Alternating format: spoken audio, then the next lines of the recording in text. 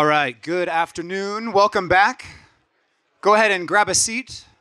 We're going to go ahead and get started in just a couple moments. We're going to talk about what I think is honestly one of my favorite topics, and I, I think I'm in a safe space when I can say that points out just how much of a geek I am. But, uh, but digital policy. So, digital policy, we've talked about and talk about like policy. In fact, right now, on the other, uh, other side of the country, our, our, our fantastic uh, congressional leaders are, are debating really important policy right now about how to keep the, uh, the government funded. I mean, uh, just a simple task. But we don't talk about digital policy very much. So this is a great opportunity to bring a, a, a panel with a wealth of uh, knowledge and experience on, uh, on many different topics, but in particular on digital policy, and dive into this about how it relates to MDS and CDS. Because far too often we think about the mobility data specification as a one way path of companies providing data to cities. But perhaps more importantly, but oftentimes less talked about, is the opportunity for cities to send policy back to mobility operators and those very uh, um, companies that are operating these services on their streets in a digital and a machine readable way. So we're going to take the next little while to, to talk about that. And first, I'm going to introduce a really good friend of mine and former OMF board member, uh, Connie Llanos, who's going to come on out here and uh, introduce the rest of the panel and moderate this session for us. So thanks.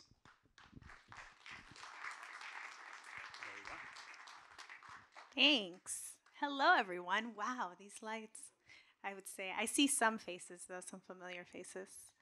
Um, all right. And yeah, panelists, let's all sit down and we can get going here. Um, hopefully, everyone had a nice lunch, and we will wake you up here with this uh, scintillating panel.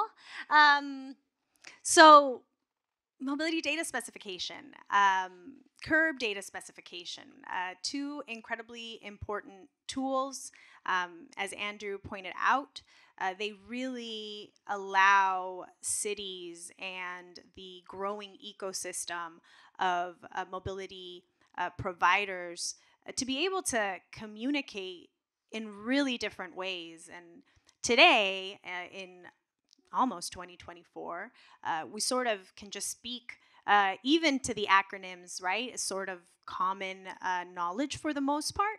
Um, but I think uh, to, it really is important to sort of think about how far we've come in five years. And so we'll do a little bit of, of speaking to, to that. Um, what are what are some of the things that have us the most excited about where we are with this work, uh, and and what are some of the ongoing tension points to really have um, not only the tools but the solutions we're trying to provide um, really emerge um, from the use of this technology. But before we go there, uh, I definitely want to introduce uh, these amazing panelists. So I'm going to start off um, with uh, going from, from this direction, Carlos Cruz Casas uh, who's a Chief Innovation Officer at Miami Dade County Department of Transportation and Public Works. His primary focus is on introducing mobility, innovations, and a plan for fully integrated transportation system. He's got experience in both the public and private sectors, ranging from conceptual design to the implementation of really multimodal transportation, pedestrian, bicycle transit, and traffic. He also serves as a board member and a founding board member of the Open Mobility Foundation. Thank you, Carlos. Uh, sitting right next to me here is Jarvis Murray. Uh, Jarvis, since 2016, has served as the for hire policy and enforcement administrator for the city of Los Angeles. I like to, to call him the regulator. um, uh, so, under his umbrella, he regulates taxi cabs, medical transportation, and shuttles, as well as dockless scooters, delivery robots, um, and any number of other private vehicle modes that are currently and yet to be um, sort of integrated into the regulatory scheme of the city. As part of his role, he is tasked with directing policy uh, for these industries, working with stakeholders to develop partnerships, improve tech, and manage the regulatory environment. Um, Arielle Fleisher, transportation strategist, uh, and uh, long time, um, uh, both public and private sector. Uh, you've got a unique combination of public health, uh, design and planning. Her current role, she is the Policy Development and Research Manager at Waymo, where she develops policies on the transportation issues that matter to cities, such as congestion, transit integration, equity, and data sharing. This role builds on her previous experience um, at a number of, of really key uh, agencies, including SPUR and SFMTA in the Bay Area. And uh, last but certainly not least, Liza Josias, who leads the ecosystem development and stakeholder engagement at Eve Air Mobility. She is collaborating with government, industry, and communities to develop this ecosystem uh, needed for safe, accessible, and sustainable urban flight. Uh, an experienced industrial designer and human factors engineer with decades of experience in enhancing the safety of air traffic operations, um, and who's also been a key developer of a couple of important tools, including uh, Eve's urban air traffic management concept and numerous uh, urban air mobility concepts of operations. Thank you all uh, for being here today. Um, so, why don't we just jump right in? Uh, and I, I thought uh, maybe to kick us off here, uh, I would really um, love the opportunity for our panelists to talk a little bit about how the development of uh, the mobility data spec in particular, how did that change a lot of your thinking around the day to day work streams that you manage in your respective fields. Um, you've all got some very unique and different perspectives, um, and you're, you're sort of thinking about digital policy and these tools in a very specific way. Um, Carlos, why don't we start with you? Sure. Well, uh, good afternoon, everyone. Can you guys hear me?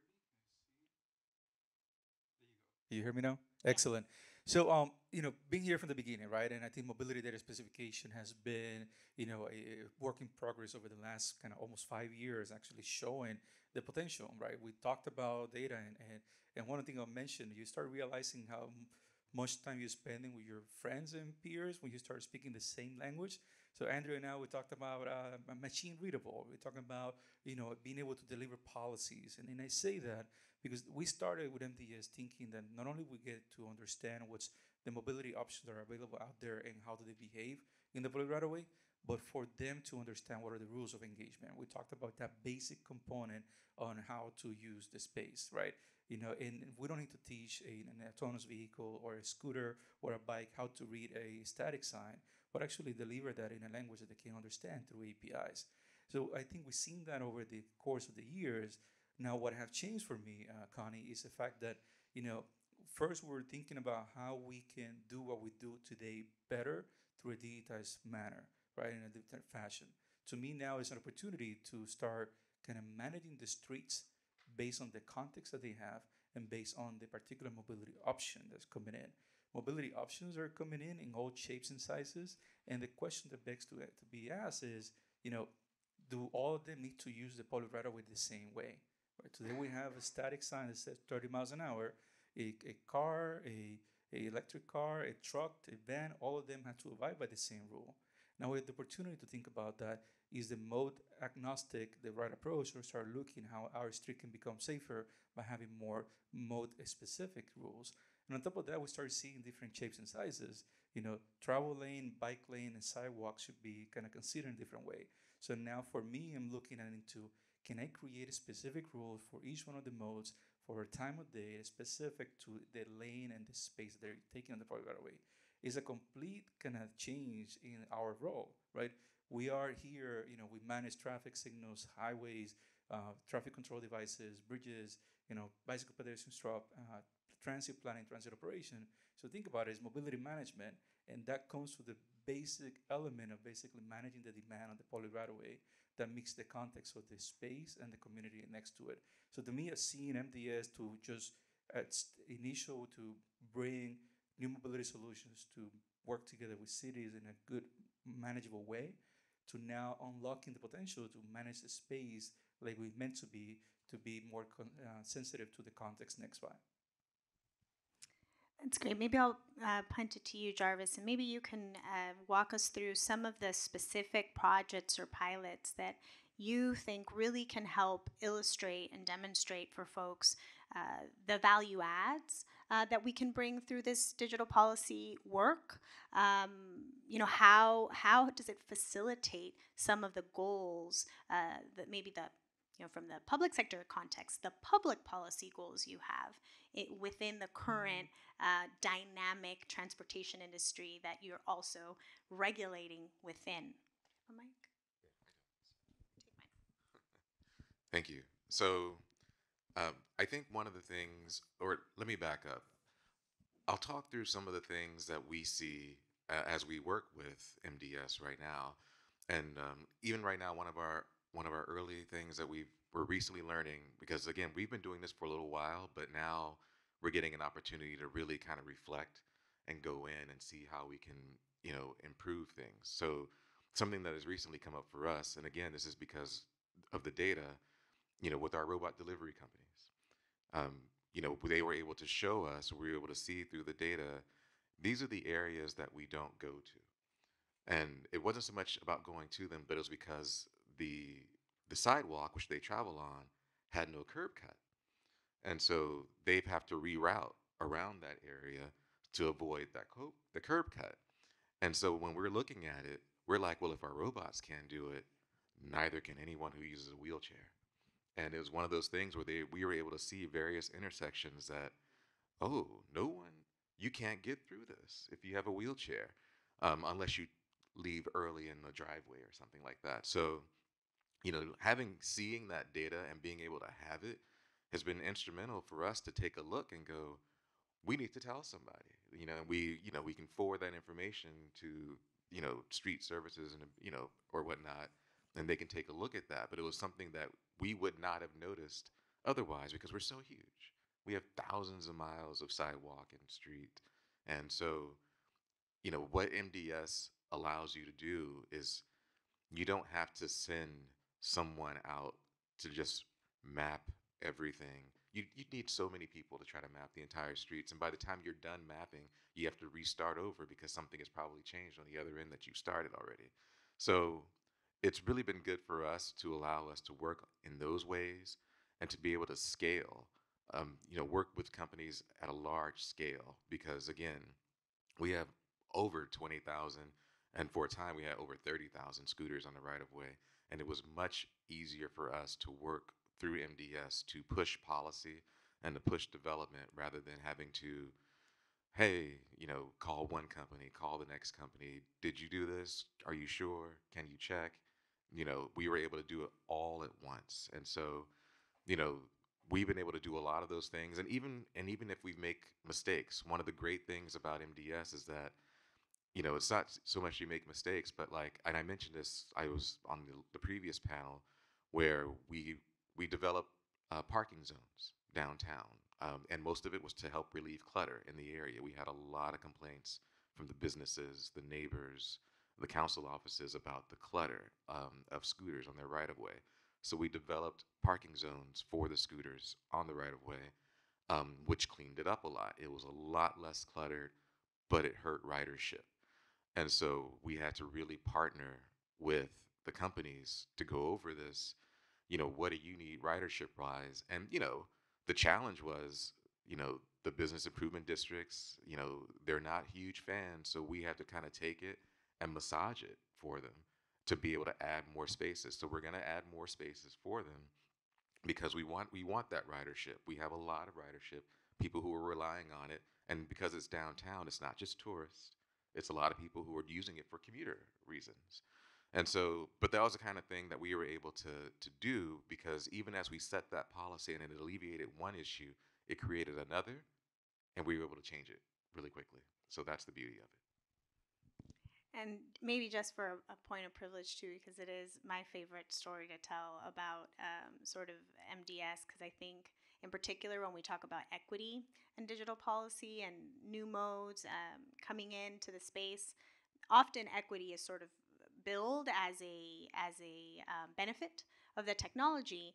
But frankly it's a lot harder to really show that in in sort of proof right? Uh, deployment where it's deployed how do you get to the scale where it's actually meeting those equity goals that you have that increase uh, choice and options for, for folks who need it the most and who have uh, the largest amount of, of options. And I know in Los Angeles, Um, and I, I just uh, recently left uh, the Los Angeles Department uh, of Transportation, but in LA, right, there was this ability to, through the tools we originally regulated, to have enforce people deploying in communities that have fewer options, right? Communities of need from an equity perspective.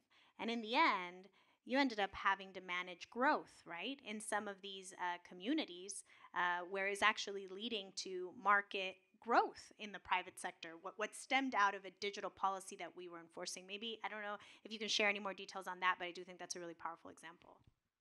Yeah, just really quickly. So we did, we had set geographic trip fees throughout the area, and we had areas that we wanted to encourage ridership in. And so by de- being able to do that, we had a much lower cost of trip fees in those areas. And we had higher trip fees in areas where that was the busiest area and the most cluttered. And but you know, one of the things that did occur was that, you know, the, the companies, again, many of these companies see a lot of things that we don't necessarily see. So on MDS, we really are getting only a small percentage of this data.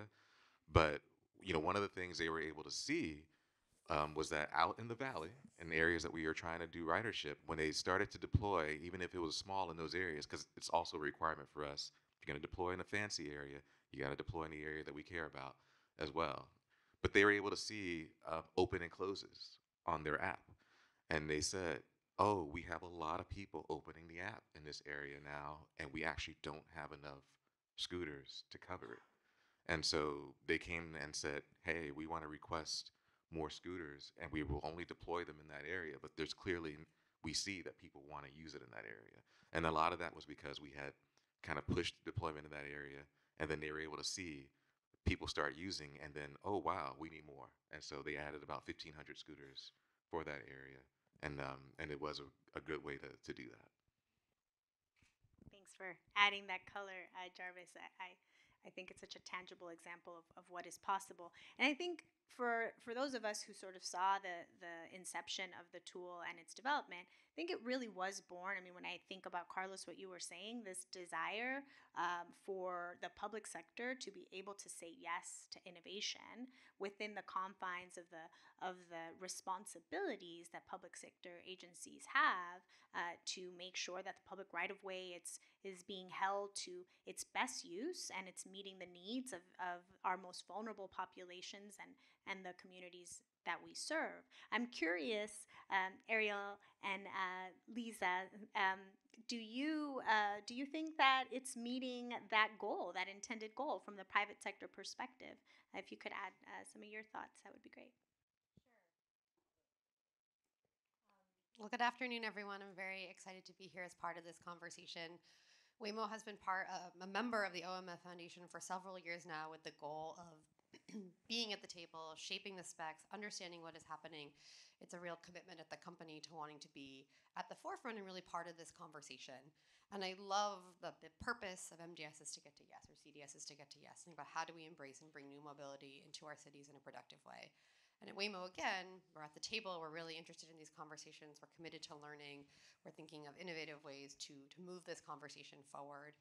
Um, as I've been doing, reflecting and listening to what folks have been saying in, in my seat, so my job at Waymo is is to develop policies. It's to get Waymo to think about how are we going to handle congestion, how are we going to handle equity, how are we going to meet, meet data, data sharing expectations.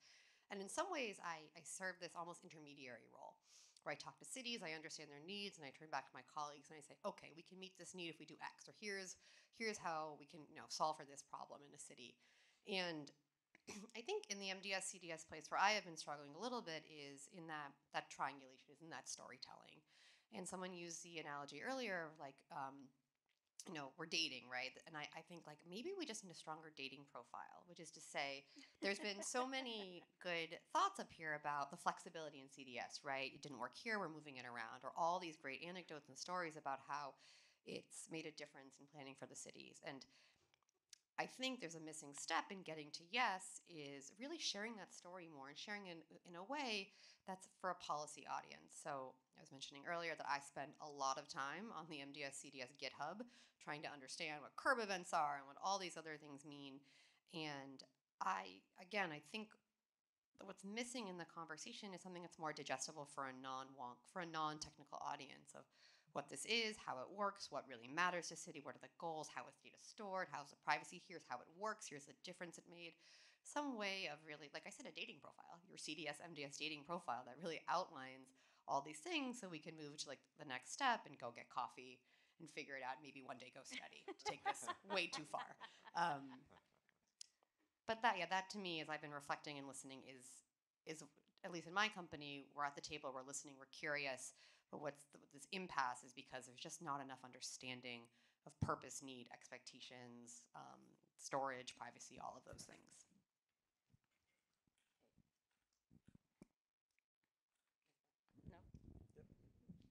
Does that work?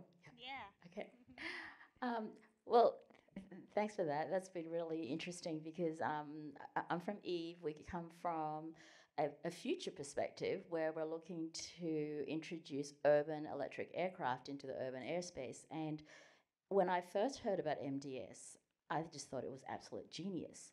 Um, and like any new technology, like Waymo, Eve, a- and and just the general AAM community, we need to find a happy place where we have the social license, where communities will say yes, where governments will say yes. And I, I think that MDS is incredibly important because it enables these new innovations to understand the lessons learned from the past, um, maybe understand the data from ways where we never really thought of it before. And also, it's, it's an avenue through which um, airspace integration, usually when, when it comes to aviation, you, the data is all about between like the FAA and the aircraft. And I, I think it's an opportunity to really open up our minds and think this is also an opportunity to grab that data, transform it into a meaningful um, narrative for cities um, to know what's going on. Because as urban air mobility starts to become um, closer to reality, um, local governments are going to play an absolutely outsized role. Um, and dealing with aviation is not something that um, local governments and land use policy is used to. Um, and so I, think this is a wonderful opportunity to have us think strategically um, before that first aircraft goes up and takes that first passenger and understand what is it that the community rules are going to be what types of data will um, local governments want to know about. Um, when you see a helicopter flying over la skies you know you go it's la right? Um, you'll, you'll see one within five minutes and that's called a visual flight rule. So nobody has to file a flight plan so nobody knows who's flying and who's going where. Um, but I think with MDS, it enables the industry to potentially give more transparency for cities to feel comfortable so they know what's going on, know who's following the rules, and then um, have that flexibility as time goes on. So if schools or hospitals say, you know, you can fly over on the weekends, but not Monday to Friday, we have that dynamic ability to um, be flexible with those rules and um, um, change up where aircraft go and don't go. So I, I thought it was absolutely a, a fantastic way to get to yes faster through um, communities and local government. Yeah. So I'm I'm hearing. Oh, did you want to chime in, Carlos? No, no, I'm fascinated about this, right? The first thing I think, Ma- Michael, you heard is we need to have a slide, you know, slide right button in the GitHub as the first thing. But to your point now, is uh, is uh, selecting the restaurant and then looking at the menu and basically identifying what's a path forward for that first day, right? So those that's getting to yes, but getting to also gonna identifying the path that both uh, the public sector and the private sector are feel comfortable and uh, aiming towards a one common goal, right? So just just wanted to add.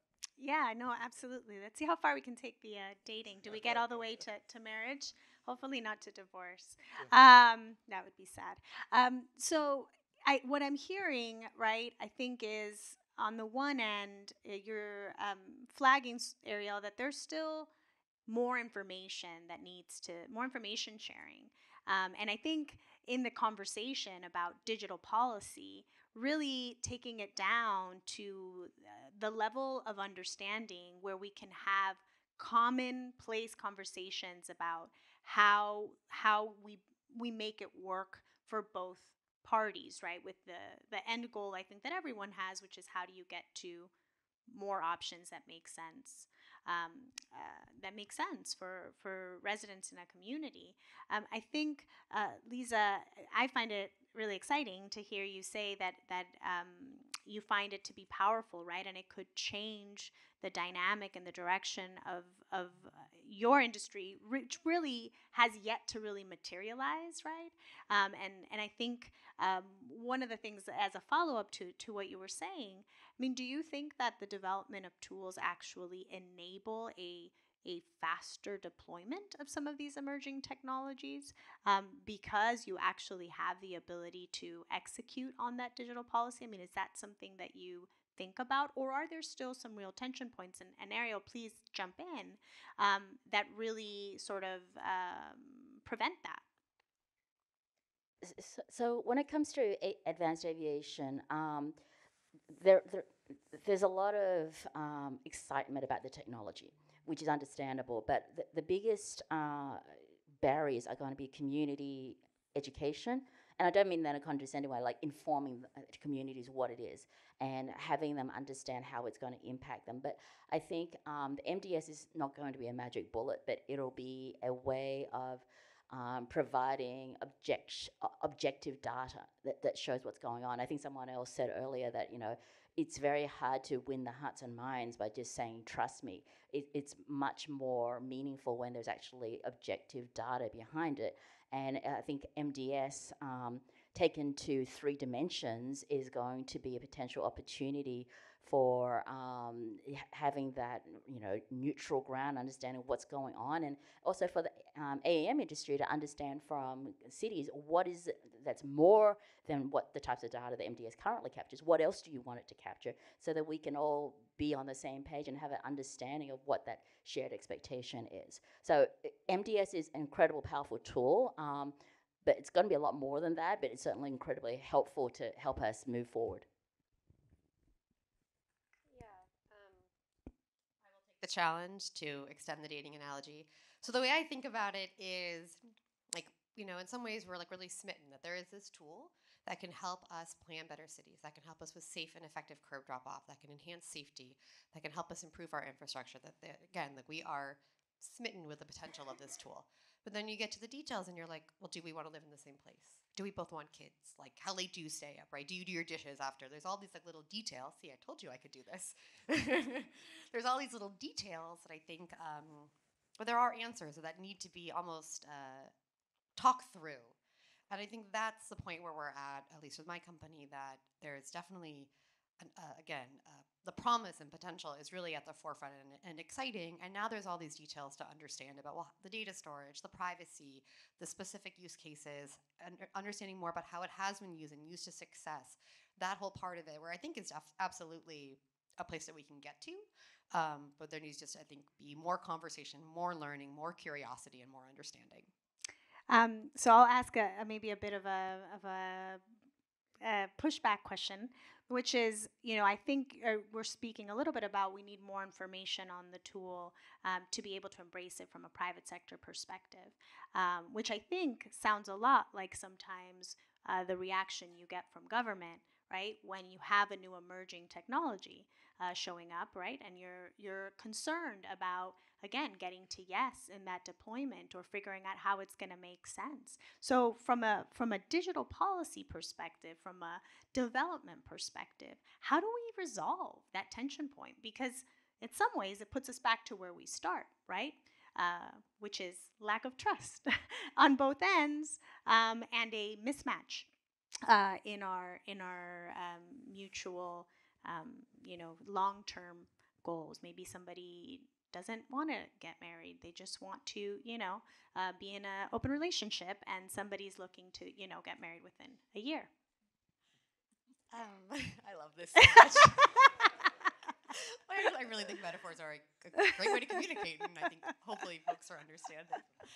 Um, what I will say is something that I think really I think is unique about Waymo is we have a very thoughtful, deliberate, thoughtful, deliberate approach to our scaling, for example, in cities, um, and to how we work with partners. And I so I, I think in terms of overcoming that tension or like we we want to be thoughtful, we want to deliver. We are at the table. We are a member of the OMF Foundation. Probably chat with Andrew every other week, thinking about how we can move things forward. How, so we're constantly in dialogue, and I think that is that is the best way we're going to keep forward to have that open and curious attitude to be at the table, to learn, to share, to be able to say to Jarvis, like, I really need a greatest hits of CDS and MDS on paper that I can show to my colleagues, but how it's worked, why it's been successful. And I think to have these relationships where we can talk about what we need to reach that shared goal, to reach, yeah, to reach that shared goal, I think is really important. So, again, I think it is at Waymo, we're very thoughtful, thoughtful and deliberate, focused on focus on the outcome and, and having that open and curious attitude to get there. So there's value in the dating, even if you don't get married. You might end up as long term friends. Like it, love it. Um, and I think, you know, from the public sector side too, right? And I think because sort of eh, the inception again of this was really about facilitating um, public sector embracement of, of innovation. Um, I'm curious about the lessons learned um, for you in your respective roles. Um, you know, I think Carlos and I were talking before coming on stage, and um, you know, some of us still have the scars to prove. Right, the the development of the tool was not not easy. Mm-hmm. Um, you know, I think some of the questions you're raising, um, Arielle, they're they're certainly matured in the nature of um, where it's coming from a place of curiosity rather than uh, perhaps just knee jerk opposition, right? Um, to this idea that you would have cities um, engaging in a, in a more direct way um, and, and really wanting to engage in that data sharing relationship. Um, so there's there's some of those conversations around privacy, around um, what is what are the proper uh, sources of data you should or shouldn't be requesting? How do you store it? Just curious how both of you leading um, so many um, use cases um, around these tools. How are you grappling with some of those uh, those tension points? And do you feel like there's lessons learned uh, now, several years later, um, that you're thinking about as as we think to I don't know the future of an MDS 3.0 or a, or a CDS 2.0? Whoever wants to go first. So, so I will start and I'll, and I'll let Jarvis kind of take it through. Uh, so the we're talking about data policy, and, and the underlying uh, basically element that allows for us to talk about this is data infrastructure, right? It's basically how everything kind of comes together. And one of the big benefit that we've seen is that we're, that we're not alone, right? That we're not alone. The fact that you know we we took what LA developed right? And basically took it to Miami, right? So again, following on this, you know, is uh, going out and taking the my best wingman here in order to make sure that it can address and it can meet my goals. It is what happens with digital infrastructure, the policies, right? It allows for that learning and basically being able to have the conversation not only on the table, but everyone is on the table, right? And that support from all the cities across the nation and even beyond can allow for a better understanding and a stronger approach from city's point of view. So, so, so starting from that, I we started the benefit of learning from other cities and what you've done, and, and leading the charts has been huge, right? And allows for us to start, you know, a couple step ahead of where we were uh, before.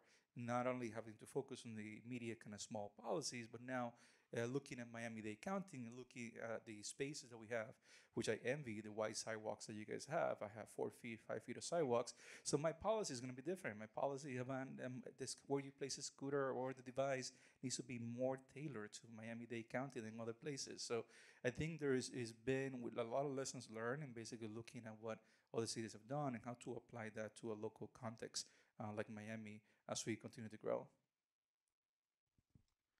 Yeah, and, and I'll add that, you know, I think an important part of this is communication. Um, and this is a communication with the community as well as with uh, the private sector business. And so, you know, to, to carry that, that dating analogy even further, um, you know, oftentimes your community and your policymakers, they are your friends and family. And they're looking at this person that you're trying to date and they're seeing red flags. But, you know, and all they're looking at, you're saying, but she's beautiful. And they're like, that's not enough. But, and then it comes, you don't know her like I do.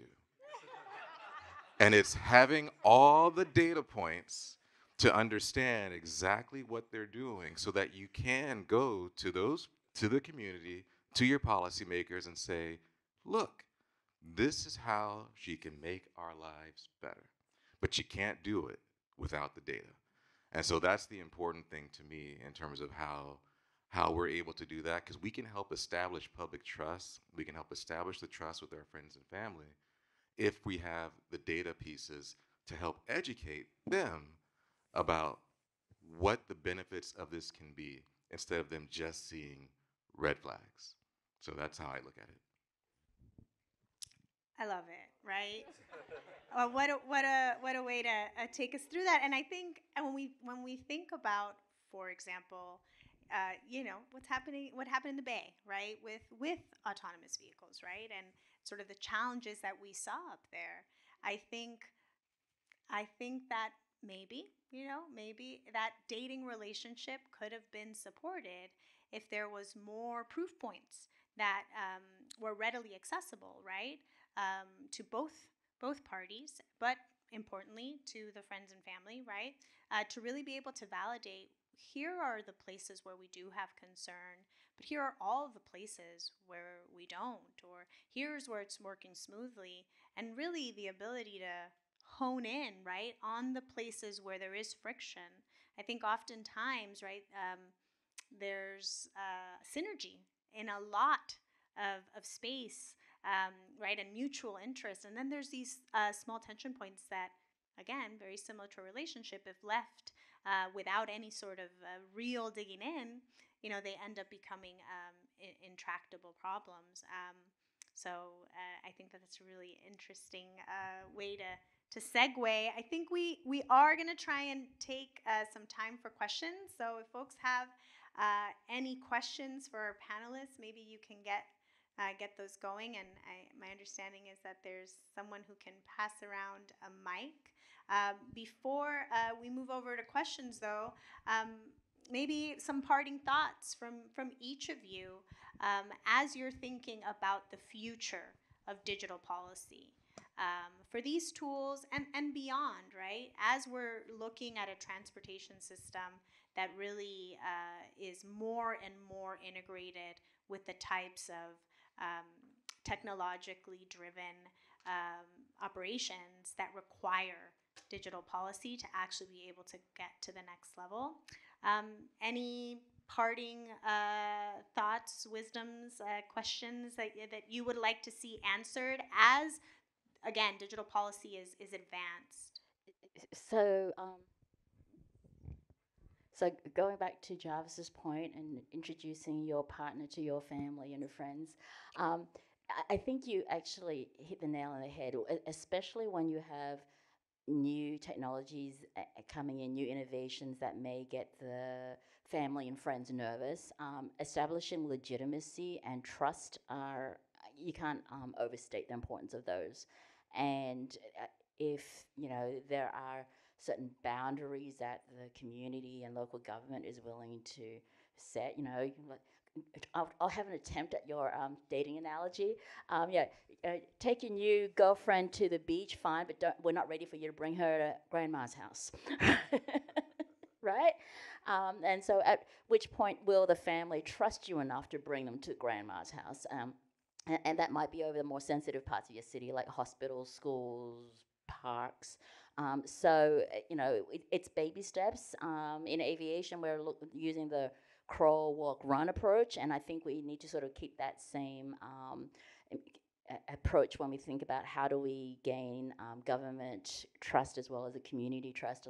let's crawl and demonstrate that we're trustworthy and we can be adults in the room um, rather than these teenagers who want to break things and run. Um, so I, I, think MDS is a great way for everyone to put their cards on the table and show what they're really doing and offer that transparency. Anyone else? Uh, and I think really sort of honing in on, I mean, we heard communication and better communication tools as, as something that needs to sort of be integrated as we're thinking about refining uh, the tools and, and the digital policy work. Um, but are there other places, untapped areas, um, where we need to be taking and directing this work towards, right, um, to really get to the desired outcomes? So, so uh, I'll briefly mention, I know we talked about digital infrastructure, the value they bring, and I think we haven't kind of completely see the potential, right? And I think that's something that we need to push forward. Um, and we need to see it the same way that we look at physical infrastructure, allowing for uh, the, our cities to, to move, our, our, our, our abilities to actually get things done.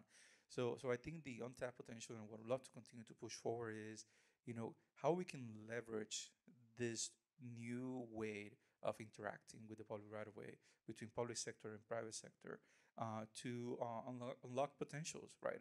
You know, we've been doing things in our streets based just purely on how a human driver feels behind the, the driving the steering wheel, right? We design our streets with just taking into consideration all these risk factors.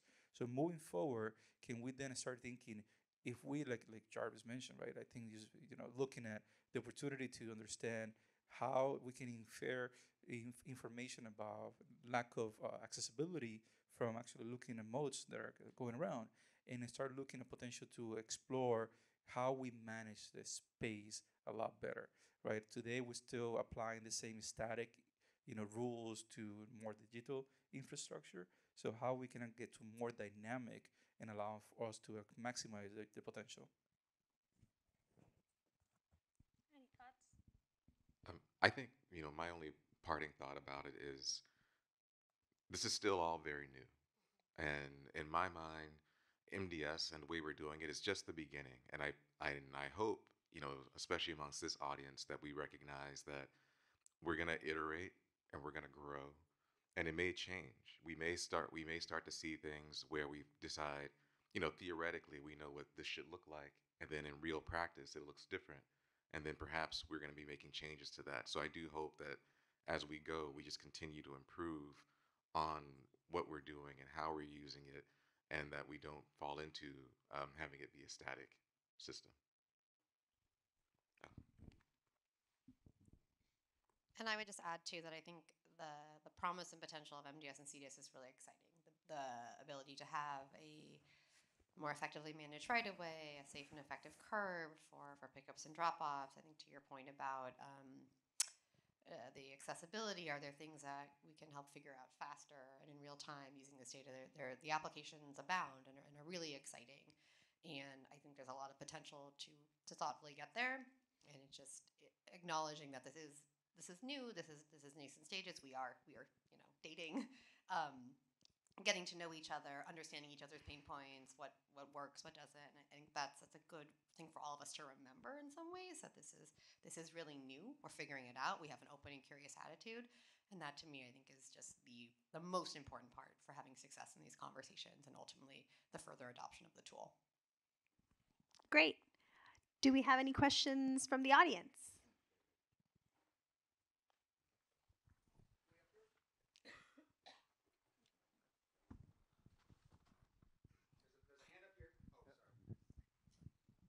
This on? Hi, uh, Michael Schwartz with Ride Report. Uh, thank you. This was a great discussion. Uh, I am curious, maybe starting with the two operators, but then also I would like to hear uh, what, what Jarvis and Carlos have to say. We've been uh, using MDS policy um, as part of our platform, helping cities basically manifest their rules to the operators. And it's kind of caught, it feels like it's caught kind of right in that in between area where the rules don't change very often, right? A micromobility program is, is published, maybe there's an event, so there's something that, that happens. The rules aren't super complicated. It's sort of go, no go, maybe a low speed zone, maybe certain hours, but nothing nearly as complex as what you two are dealing with in terms of air traffic and, and moving vehicles. Um, so I'm my question is really about do you ever see a point where you would rely on a public agency or a vendor of a public agency to represent the source of truth of the rules for what you do and you would ingest it kind of in real time um, to be able to update sort of what your vehicles are doing and being able to respond to them?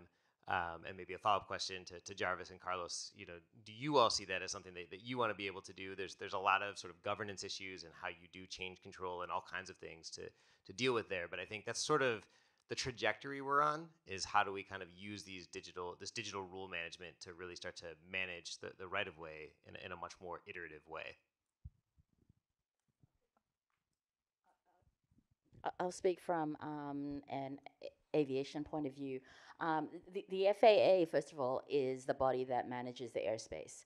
Um, so we do see um, a, a digital exchange of data between the FAA, the local city, um, and the fleet operator, as well as the, the vertiport operator. So it's like the, the, the bus stop for aircraft. And so there's going to be a lot of real time um, data exchange to facilitate very safe. I mean, safety is always your priority to facilitate safe and efficient movement. So I, I think this is like something where the um, roles and responsibilities need to be addressed. Um, but we do see this, for example, um, the situation where maybe there's a city fire. So now you've got maybe the um, Los Angeles Fire Department. There's a huge uh, piece of the freeway in the center of the city exactly. that you say, can say no longer the freeway's traverse burning, on. right? Say Just hypothetically speaking.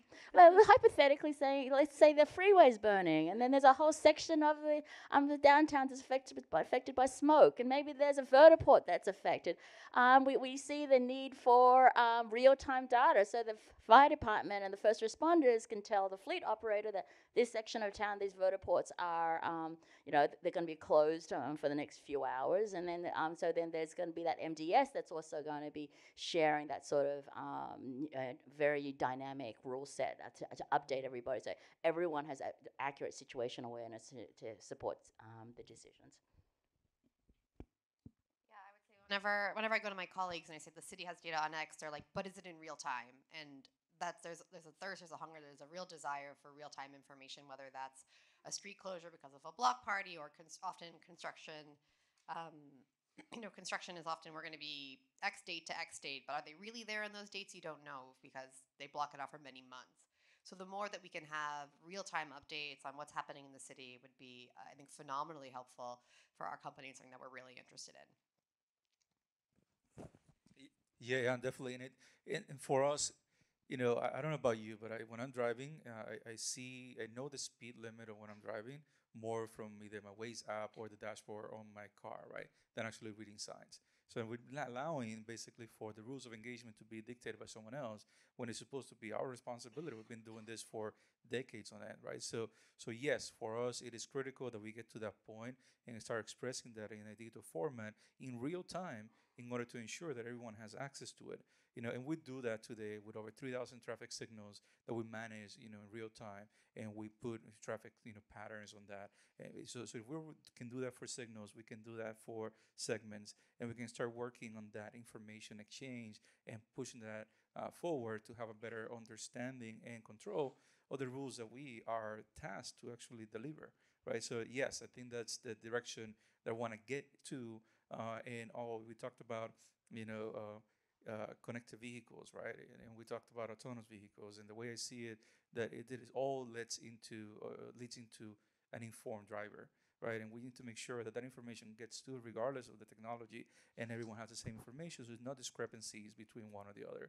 So uh, that's that's to me again, unfolding that potential is, is the goal that I'm trying to push over the next couple of years. Yeah, I want to agree with everything that Carlos has said, and it's really for us also about just standardization of the information, so that it's not you know one company heard this, another company heard this. Uh, it's really being able to get all that information out to everyone quickly um, in a way that will be helpful and beneficial. And so right now, it's again, it's still very small scale. When this fire happened, you know, we had to geofence the area from scooter activity, but and so I, you know, I got the call on Saturday, and you know, we we were able to do all of that. But it's going to be more than that. It's going to be, you know, all the things that Carlos has mentioned in order to really, really be an effective tool. And I mean, I'll, I'll also add that, I mean, my favorite is when uh, my digital tools are giving me the wrong information, which happens all the time, right? Uh, turn here, I can't. Uh, it's it's a school zone. There, there, I'm on the freeway, right?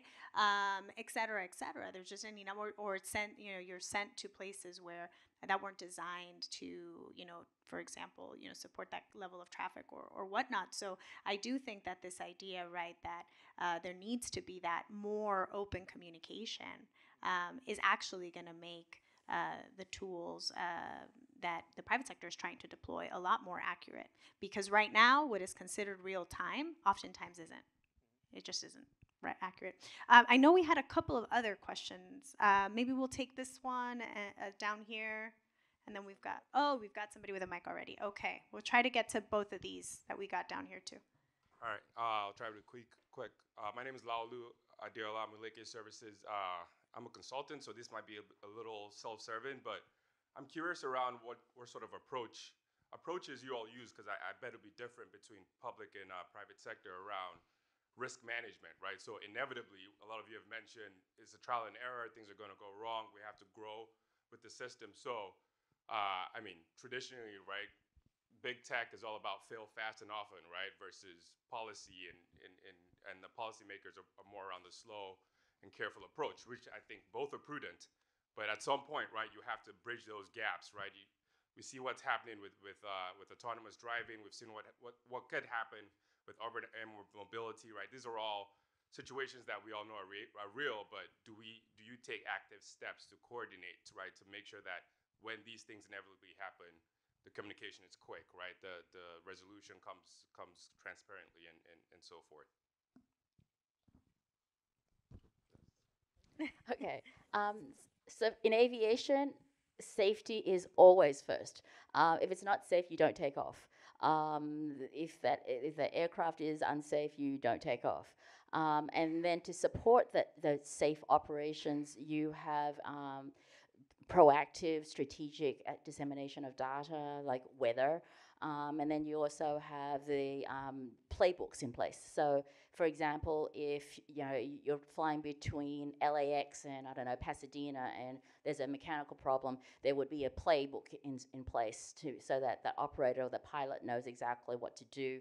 Um, there will always be that um, plan B. Um, so that would also be in the data place. So that I, I would hope that one day that that data would also be able to tell me in real time um, you know, the status of that alternative landing spot. So from an aviation perspective, um, redundancies are built in constantly in the procedures as well as um, in how that data is used. And um, we're, we're, now trying to take it down to the ground level and integrate that with um, the availability of data so that, you know, if there is an incident that the city will know that there's something going on and maybe they can deploy more buses or trains to try and alleviate traffic in that region. Anyone else? No, no, and I think the, the, the question about risk and how we're introducing those these new data policies and how to use the, the space, you know, there's going to be a full transition, right, and a full learning curve through all this. And I think that, that right now it is you start with a strong foundation of the current rules that we have in place, and we're building on top of that, right? So we're, we're not basically saying you, this car can go higher at a higher speed limit than the current one. Actually, we're saying can go lower and how we manage that on the certain space, right? So I think it's, it's going to be a combination of the, the current rules uh, and build on top of that and, and start experiencing what are those benefits it will bring.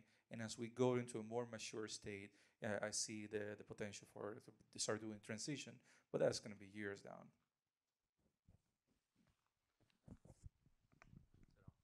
One. Um, Amir Sadati with uh, IPS Group. Uh, thank you for ruining uh, the dating life. I don't think I'll ever be able to date the same without having this concept in my head. But um, my question is, obviously, with a lot of a great conversation here, how does how do you look at the enforcement um, opportunity as policymakers and rules and policy and data can do all of that, but at the end of the day, if cars are parking on bike lanes and uh, Ubers are triple uh, parking and you know creating unsafe situations. How do cities and government agencies kind of look at that enforcement? Is enforcement as part of the table when you guys are doing all of this um, specifications? So I'd just like to hear your thoughts on that. So uh, enforcement is a part of the calculus. Um, oftentimes, you know, when we want to you know, get started and you want to begin testing, you're not necessarily enforcing right away. You want some baseline, of course. You always want a baseline of rules, such as like what Carlos mentioned. We have a speed limit. We need you to go lower than that. And so you want to be able to do those things.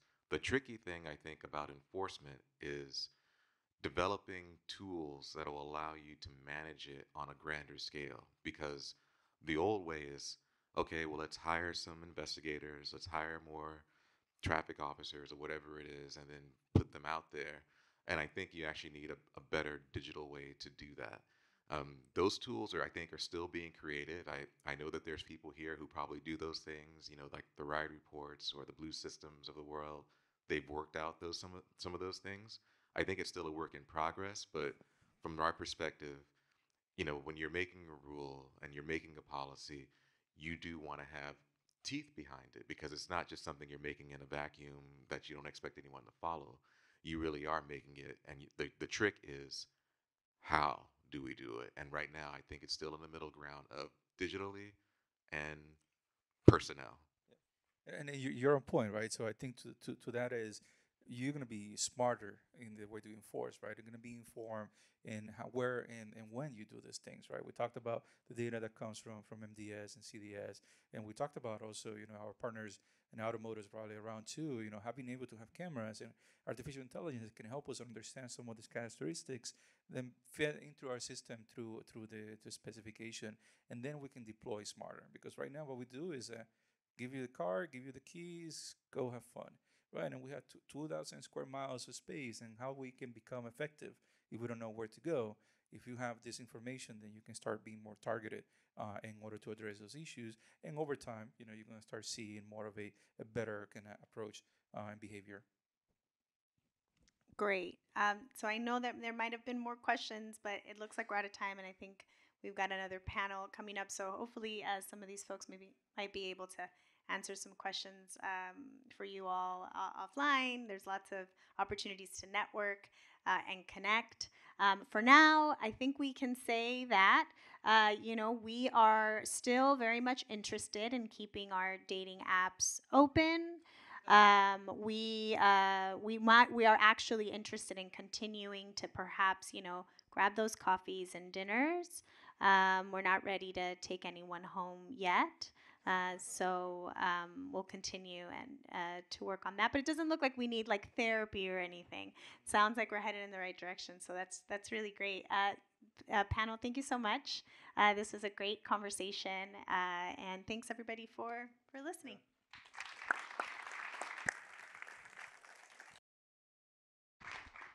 All right. Thank you, Connie. And give one more round of applause to our panel. Super fun conversation. Jarvis, Arielle, Liza, Carlos, thanks for spending the time.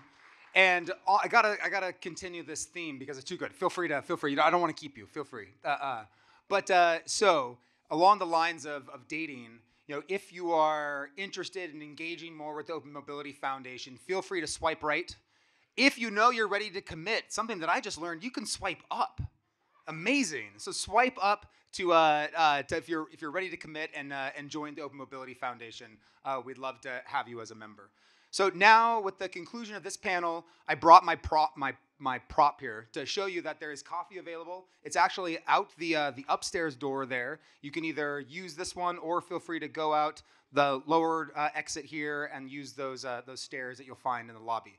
But we now have a 30 minute break. So feel free to uh, grab some coffee, step outside into the beautiful sunshine, enjoy yourself, meet a new friend, and then we're going to reconvene at uh, 4:15 for another set of great panels. There'll be a conversation here in the main stage and uh, another one over across the way in the workshop room. Thank you all.